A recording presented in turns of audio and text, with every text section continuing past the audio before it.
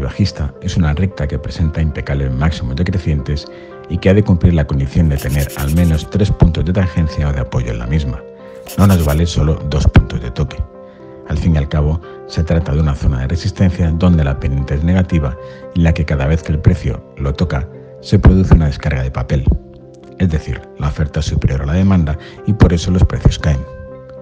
Continuación podemos ver en velas semanales el gráfico de Telefónica y la impecable recta directriz bajista que une todos y cada uno de los máximos decrecientes desde finales de 2015.